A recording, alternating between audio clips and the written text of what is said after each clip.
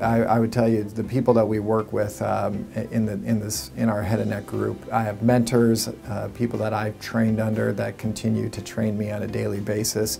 I have those who I have trained and, and they continue to train me too as we continue to grow in our uh, relationship at, uh, as professionals. The collegiality we have with all the multidisciplinary care members between medical oncology, radiation oncology, speech and language uh, therapy, our relationships with the nurses on the floor. And we have great team rounds every Monday and Thursday. We round on all our patients together as a team. And so we take the team concept very seriously.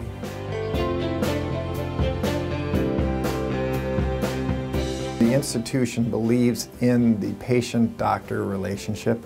They believe in the care providers and the patient-provider relationship. It is the people in that institution that deliver that, the good health care.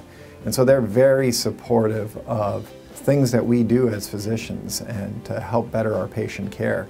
Methodist is always looking for ways to improve upon themselves, improve the quality of the product that they give, and, and, and it's been a great working relationship with them.